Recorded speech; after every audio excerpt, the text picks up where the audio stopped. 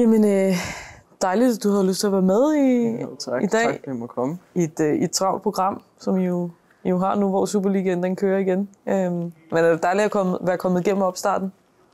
Ja, det var en hård opstart, men ja, vi kommer igennem det, så nu er vi bare i gang med kampene. Og nu venter der jo også på et tidspunkt to kampe om ugen. Så Vi skal, vi skal lære dig lidt bedre at kende i dag, så øhm, for at gøre det bedst muligt, så lad os skrue tiden lidt længere tilbage.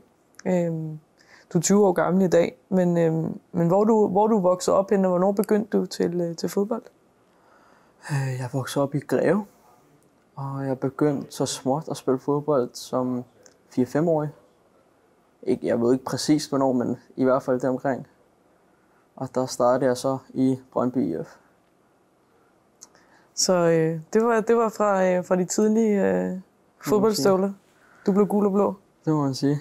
Hvordan var det at spille i Brøndby øh, dengang? Altså, selvfølgelig var det børnefodbold, men, men altså, var det helt naturligt for dig, at det skulle være Brøndby? Ja, yeah, det var det egentlig, fordi derhjemme var far og mor Brøndby-fans, de fulde Brøndby. Deres kampe i weekenderne, og nu bor jeg kun været 10 minutter herfra, så det var rimelig oplagt, at det lige skulle være Brøndby. Mm. Hvordan udviklede du sig så i Brøndby sådan hen over årene?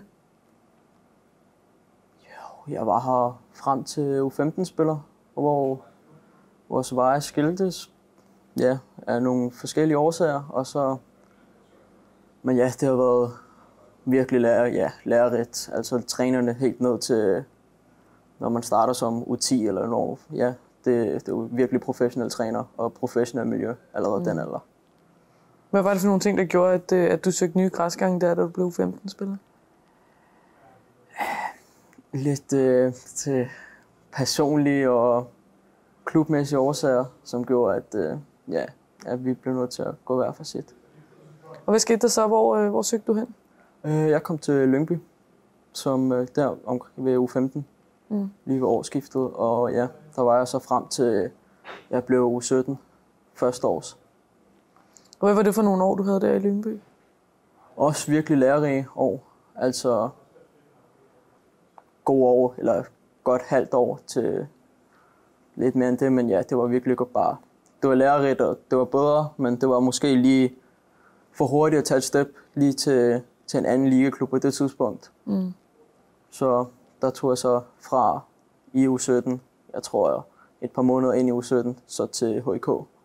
Og øh, ja, hvor Lyngby så lå i U17 Liga, ja. Ja. hvor lå HIK, så er det divisionen. U17, ja, divisionen. Det er så rækken under. Ja.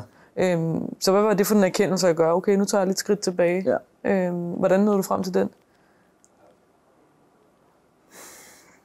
Det var med god dialog med, med Lyngby og med, med familie, og det var måske det, der var det perfekte for mig på det tidspunkt, at lige få et step ned og kunne få de kampe og de minutter, jeg skulle have for at udvikle mig. Mm. Og det var bare det, at så have fokus på mig selv. Lidt, øh, ja, slå alt omkring mig ja, fra, og så bare fokusere 110% på mig selv. Ja. Og så, ja, så må man sige, så tog det fart derfra. Hvor stor en del var fodbold i dit liv på det her tidspunkt? Altså, hvordan balancerede du venner, skole, fodbold og alt det her? Øh, det betød jo mere eller mindre alt for mig det også. Og det var, ja, det var, det var svært. Også at se sig selv sådan, for at gå fra, fra at være noget, ja, for at have en stor, eller en status et ene sted, og så kunne se sig selv. Det var lidt svært i starten, og så tage skridtet ned.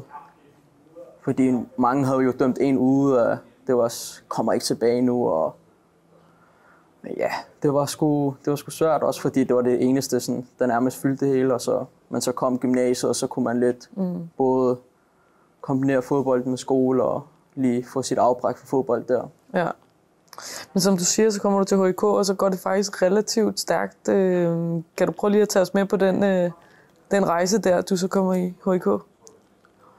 Ja, det var et, så rent fysisk, så voksede jeg lige pludselig bare virkelig, virkelig meget. Og så det, at jeg havde fokus på mig selv 110 procent, og bare gav den gas i, i styrketræning, og der, ja, det gjorde bare, at, og så jeg spillede hver weekend og fik en masse minutter. Ja, det var bare vigtigt, så selvtiden kom, begyndte at blomstre, Ja. Og så fra den ene dag til den anden, så rykkede jeg fra som tidligt første år til 17 op på 19 et år tidligere. Og så få, jeg tror jeg var på 19 i nogle få måneder, hvor jeg så efter rykkede op i seniortruppen med det samme. Hvordan var det? Altså, der har du jo været en af de virkelig øh, unge, Ja, 16 år. ja, det var... Man var stolt, fordi at... Fordi man var jo et helt nede i kulderkælderen efter, kulkælderen efter ja, den nedtur, man fik, men at, ja, man så kunne arbejde sig op, og så, så kaldte det bare om at give den gas, og så, bare, så var der kun én vej, og det var fremad. Hvordan var det så at spille voksenfodbold lige pludselig? Det er jo noget helt andet, at spille ja. divisionsfodbold. meget, meget, meget, meget anderledes. Andet tempo. Spiller, du spiller jo, der er jo, Andy er jo kendt for at have masser af rutinerede, erfarne spillere. Det var meget lærerigt, virkelig lærerigt. Du blev, ligesom som jeg også sagde i et tidligere interview, at, at komme i, til en ting, jeg tror på at være en del af det, du lærer noget dag fra dag til dag. Mm. Og det gjorde man også der. Og det var også, ja, godt for min udvikling. Var der nogen bestemt, du kunne læne dig op af i, i HIK-truppen der, som var god til at lære fra sig? Især en som øh, Jonas Hebo har haft en, man kan sige, haft en spændende karriere og var en af de erfarne rutinerede, og han lærte fra sig. Og han var en god spiller her omkring sig. Mm. Også fordi, ja, jeg, kunne godt, jeg kan godt lide det på bolden, og det kunne han også. Og, så det var, han var en god mand. Ja, at have ved sin side i hvert fald. Ja. Hvordan udviklede du dig der i, i seniortruppen? Fordi det er også en anden måde, man skal spille på. Øh, på ungdomsholdene kan man måske spille lidt mere individuelt, hvor der, der kommer mere og mere taktik på. Ja, det var selvfølgelig mærkbart. Jeg kunne mærke, huske de første, det var jo vinteren, inden vi gik på vinterferie, så var jeg rykket op tre uger før. Og så kan jeg godt huske, at de første tre uger, de var, de var svære. Fordi ja, der var nogle andre spilmønstre, og man skulle lige forstå sine holdkammerater, og du skulle spille noget hurtigere. Ja, der var bare en masse. Man skulle nu skulle tage højde for, at det ikke var lidt, ja, som du også siger, individuelt, at jeg bare lige kunne gøre det, jeg selv havde lyst til, og man skulle tage højde for, at der var 10 andre spillere på sit hold, Mm. når man spillede kamp. Ja. Men hvordan, man, hvordan balancerer man det? Fordi du er jo også en spiller, der kan noget ekstraordinært på egen hånd. Så hvordan altså, falder man ind på sådan et hold uden at miste sig selv? Jeg tror, det kommer med tiden, og, og bare finde de rigtige momenter i starten. Ikke øh, opsøge det for meget, fordi det skal nok komme naturligt på et tidspunkt. Så kommer ja, mulighederne, hvor du kan vise dig frem på det, det, ja, det du blev rykket op for. Ja. Og det begynder du så også øh, at finde i, øh, i HIK. Øh, Hvornår begynder du sådan at kunne mærke, at der også kommer noget mere interesse for dig fra andre klubber? Faktisk øh, rimelig tidligt, synes jeg. Fordi det var ja, attraktivt, at en lille ung knæk blev rundt og spillede med ja, de voksne i anden div. Så jeg tror allerede ved årsskiftet, Mm.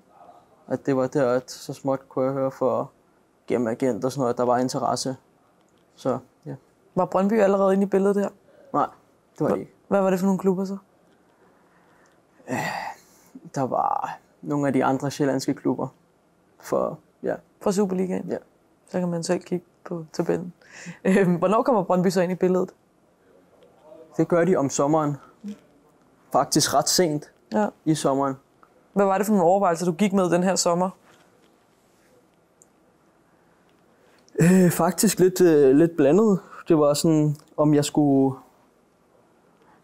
Ja, om jeg skulle blive, eller om jeg skulle tage stedet nu. Mm. Fordi det, var, det passede rimelig godt, at jeg har fået okay antal kampe på ja, anden divisionsniveau, og været en del af en ting, jeg tror i lang tid. At det, ja, det var faktisk, om jeg skulle tage det til næste step, eller lige skulle tage det med ro, og lige tage et halvt år eller et år mere. Ja. Øhm, og hvad var det så, der gjorde, at øh, du valgte at rykke til Brøndby? Også selvom de kom relativt sent ind.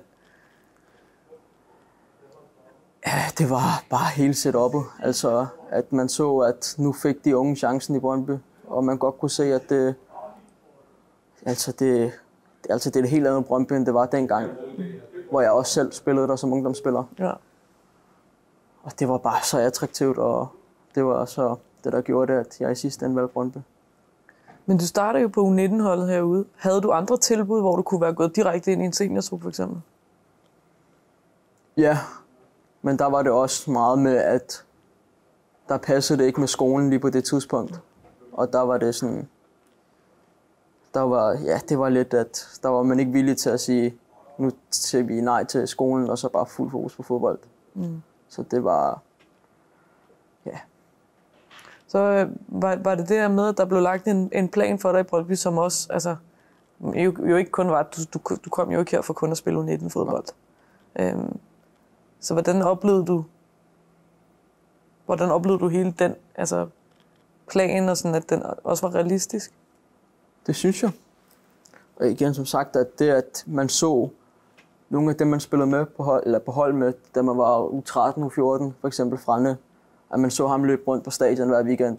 Det gav jo også lidt, at okay, man tror på de unge, og man ser også nogle af 00'erne få debut, og det gjorde bare, ja, at det, så kunne man godt se det, at det var, at det kunne godt blive en snart, og så var der bare en god plan, at man ville udvikle mig, og selvfølgelig var der man vidste jo godt, det jeg kunne på bolden, men at man lige skulle bygge den base et andet sted uden bold, og så det var bare en god plan. Ja. Øh, rakte du ud til sådan en som Frandro for eksempel, og lige spurgte ham, hvordan det ledes? Det gjorde jeg faktisk ikke. Ikke uh, i starten. Det var, der var jo, ja, det var bare direkte ind på U19-holdet, hvor jeg også kendte over halvdelen af spillerne. Ja. For da vi var helt små dengang, Pønt og Anis for eksempel, der også var der og så nogle andre, som der ikke er her nu, men som jeg også kendte fra dengang. Så det var rimelig lige til at ja. komme ind. Ja. Og prøv så lige at tage os igennem din, øh, din Brøndby-tid, fordi det starter jo lidt, ja. og så lige pludselig på et tidspunkt går det rigtig stærkt, ikke? Hvordan husker du det? Jeg husker, at jeg kommer til, og synes egentlig, det går rimelig godt, og så var der lidt, at vi skulle arbejde på nogle af de andre parametre, som jeg ikke var, lige var den bedste til. Og det var lidt det, der fyldte meget hos den træner, der var på det tidspunkt, at det var nok det, der var første prioritet. Så der blev jeg lidt mere sådan en indhopspiller og fik lige nogle startpladser her og mm. i ny og, næ, og, og så var der så corona, der kom mm. midt i det hele, som gjorde, at vi så ikke fik de, fordi det var lige op til, hvor jeg begyndte at spille først. Så ja, så satte corona bare lige en stopper for det hele. Og så var jeg så, så heldig, at, øh, at der, ja, man så potentialet, og så blev tilbudt den U20-kontrakt. Og så vidste man godt, hvad, at nu havde man fået den chance, så var det bare at give den gas. Og det må man sige, at det, det gjorde det så, hvor vi så om sommeren fik også ny træner i CS, og så spillede jeg regelmæssigt, og og så var kontinuitet bare vigtigt for mig. Ja. Og så kom det. Og den, den efterårssæson, du brænder af der, øh, var, det, altså, var det topniveau af, hvad du kunne på det tidspunkt? Jeg ved godt, du er blevet bedre siden, men altså sådan, følte du, at der ramte du niveauet, du gerne ville? Ja, altså... Som U20-spiller galt det jo om at være den bedste der, hver gang, hver kamp, hver træning fordi at nu var, man, nu var man ældre end de andre, og det var det, der for at overbevise ja, Carsten V. og Niels og de andre, så galt det om at, at vise, at man var den bedste der. Og det, ja, det synes jeg så formåede, og så det må så også ud i, ja, at jeg så fik en professionel kontrakt i Brøndby. Ja, det var så her i, var det i januar? Ja. ja. Øhm, hvordan, hvordan var det forløb? Altså, øh, hiv se vi fat i dig og sagde, du skal lige med ind på kontoret, eller hvad det var?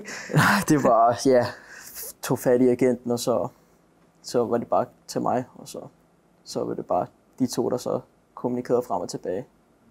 Har du regnet med, at det ville gå så hurtigt? Altså, at, at, at, at du allerede at du kun skulle bruge et halvt år på ligesom at overbevise dem? Ja, jeg, jeg, jeg tror jo på mig selv, og jeg havde også regnet med, at det ville gå stærkere, end kun lige at jeg skulle ja, at det nu endte med at bruge et halvandet år fra, da jeg kom til Mm. Og det havde nok regnet med, at det ville gå stærkere, hvis jeg formåede på det tidspunkt at spille fast tidligt. Men ja, jeg synes, ja, det, det var bare gik bare op i en høj enhed, at ja, jeg spillede fast, og så selvfølgelig gik det stærkt, men om jeg havde regnet med det i både og. Mm. Men ja, jeg var bare stolt, at, at de så ville skrive under på en professionel med mig. Ja. Og vi har jo hørt, CV, han har øh, omtalt dig i meget rosende vendinger, også i vores øh, podcast Brøndby Lyd flere gange. Øhm, også sammenlignet en lille smule med Mohamed Zidane. Kan du, kan du genkende den øh, sammenligning? Øh, I forhold til det, du kan på bolden øh, individuelt? Ja, altså, jeg fik det jo øh, ret tidligt at vide. Fik det at vide af IHK af Per Frimand, som er sportsdirektør derude. Allerede dengang. Så det overrasker mig lidt, at han også sagde det. Altså, må der have været noget om snakken. Mm. Men ja, nu har jeg jo ikke set så mange skilsvideoer med, med Mohamed Zidane, men, men jo, ja, kan du godt se det. Hvem har, ellers, hvem har, hvem har du så kigget skills-videoer af? Altså, hvem har inspireret dig? Man kan ikke komme uden Ronaldinho. Ronaldinho og Tyke Ronaldo, som man kalder ham. ja, jeg ved det. ja. Men øh, de to især, og så selvfølgelig Neymar og Messi nu til dags. Mm. Ja, fordi hvis du skal beskrive dig selv som spiller, for, for nu har du jo stadigvæk din Superliga til debut til gode. Vi håber ikke, der går så lang tid, men, men til dem, som ikke har set dig spille, for eksempel. Hvordan vil du så beskrive dig selv altså, som spiller? En spiller med individuelle kvaliteter på bolden. God, god på bolden, en mod en offensivt. God til at sætte mine spillere op. Og ja, en hurtig spiller med godt fodskifte. Sparker med begge ben? Ja. Det har vi jo set her i opstarten i hvert fald. Ja, det må man sige. Øhm, og i forhold til, til opstarten med Superliga-truppen, nu spiller vi jo 3-5-2 primært, jeg ved godt, der, der er nogle variationer af det, men, men er det så primært dine angriberpladserne, du, øh, eller kan du også spille den 10'er? Øh, som... Ja, det er primært nok angriber, og så må man se, med tiden kan du godt blive udviklet sig til at blive en 10'er, men så selvfølgelig, så skal man jo arbejde på de ting. Der, det kræver lidt mere defensivt arbejde derfra 10'eren, end det ja. gør som angriber. Ja. Og så selvfølgelig, hvis det er 3-4-3 eller 4-3-3, så, så ligger du ret naturligt ud på en af, ja. af de to kanter, ikke? Jo. Ja. Hvordan har det været sådan at starte øh, fuldt op med Superliga-truppen, som nu har været, øh, været i, i Superliga-truppen og kunne fokusere 100% på det? Dejligt. Godt. Det er lærerigt, og, og det er også bare en god trup at komme ind i. Mm. Alle er gode til at tage imod en, og så det, det har bare været lige til. Det har bare været godt. Ja. Og, øh, og, og føler du også, at vejen sådan, til spilletid, at, at du kan se en, en klar plan for, hvordan du når derhen? Ja, synes jeg. Kan du godt også lidt klogere på den? Det skal være tålmodig. Det kræver virkelig meget tålmodighed. Og så det er bare at blive bedre til træning, vise sig frem til træning. Så skal det nok komme naturligt. Og ja, arbejde på det, man får at vide. Så, så skal det nok komme. Ja. Nu har vi jo øh, Anis Slimane, som også har taget lidt den samme tur som dig med noget divisionsfodbold først, og så til at komme til Brøndby bagefter. Altså, synes du, det er en god ting, at Brøndby også kigger øh, på den måde, scouter også talenter sådan i divisionerne? Ja, det tænker jeg jo, at du vil sige ja til, men, men, men er der meget guld at finde nede i divisionerne? Ja, det synes jeg bestemt, at, øh, at det er jo ikke altid lige... Altså, der er jo ikke... Ja, jeg synes, der er, der er mange forskellige veje nu, og, og dengang var det jo ikke så naturligt at tage rykke ned i en anden eller divisionsklub, og så tage den vejen gennem der. Hvor det var meget sådan, man skulle være i egne rækker, eller ja, det, man finder sine talenter for U19, der hvor, ja, i de respektive klubber, hvor man, jeg synes, det er blevet meget naturligt nu, at mange ser muligheden i, at, at, ja, at man kan faktisk godt tage vejen gennem divisionsklubberne. Mm. At det, og de er også villige til, at hvis de ser noget potentiale i en ung dreng, at ja, sender dem ret hurtigt op i Suli, eller ikke i Suli-truppen, mm. i seniortruppen. Ja. Og, og det er også en, altså, en fin fodbolduddannelse, man får ja. i, i divisionsklubberne i, i forhold til niveau og så videre, ikke? Jo, bestemt. Bestemt. Øhm, nu har vi jo fået en, endnu en mand ind, som har taget lidt den samme øh, vej i Josef øh, Salek. Kendte du ham fra HK? Ja. Jeg er noget at få lidt kampe med ham. Fordi ja, det var jo så den tid, hvor det gik, jeg ikke nåede at spille så meget U-fodbold i, i HK. Men ja, jeg kendte ham godt. Og hvad, altså, kunne du godt forstå, at Brøndby har hentet ham? Ja, altså han har potentialet i en lidt atypisk angriber. Han er jo ikke den dybde løber eller den hurtige løber. Han er jo stor, stærk angriber. Mm. Så ja, jeg ser potentiale i ham selvfølgelig. Og han kommer også fra et godt sted med god opvækst i, i HK. Ja. ja. Hvordan, hvordan, hvordan, hvordan er det at være en del af den her sådan meget unge trup i Brøndby? Det, ja, det er en fantastisk trup. Det er en god trup, at både de ældre og der er sådan en god mix af det hele. Så jeg, det, det, jeg synes, det er meget lige til. Mm. Også for, man kan også selv se det for dem, ja, for eksempel med, med Yusuf, at han kommer ret nemt ind i gruppen, fordi vi er så mange unge. Så det er bare, ja, det er godt for nye spillere og for, ja, bare for os unge. Mm. Og nu er du jo måske en af dem, som, øh, som skal til at have nogle minutter i den her sæson og tage ligesom næste skridt i din udvikling. Øh, regner du selv med det? Altså tror du, du får debut i den her sæson? Det håber jeg, tror på. Mm. Nu var du med på bænken i din første kamp. Det er et meget godt øh, tegn.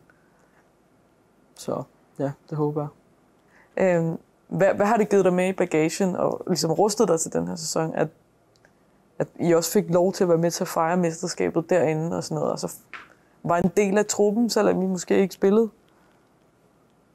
Altså, ja, det er bare at træne med dem og fra, ja, være med dem en del frem til hele ugen, altså frem til kampdagen. Mm. Det gav jo også bare meget, og, og man kunne se den energi, den gnist spillerne havde, og var villige til at gå ud og ja, give 110 procent, selvom man ikke lige havde de kræfter i sig de sidste kampe.